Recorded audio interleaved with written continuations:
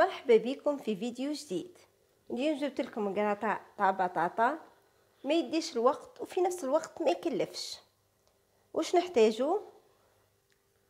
زوج بيضات قطع تاع جبن مثلثات عنا بطاطا مقلية وجبن وحليب.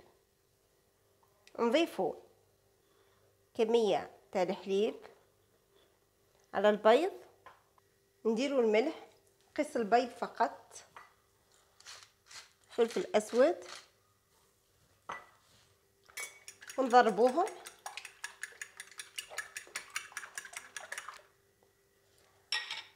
هنا نحط الخليط هذا على جنب. نجيبو البطاطا تاعنا نحطوها مباشرة في المول.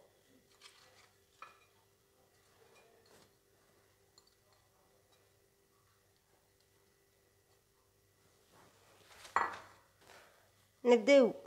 نحطو الفرماج تحبوا مكعبات الشكل اللي حبيتوه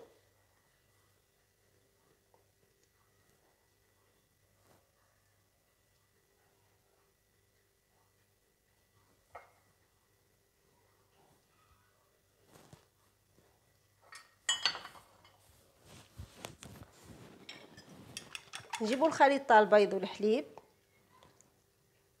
نحطوه من فوق. في الأخير نضيفو كمية تاع فرماج.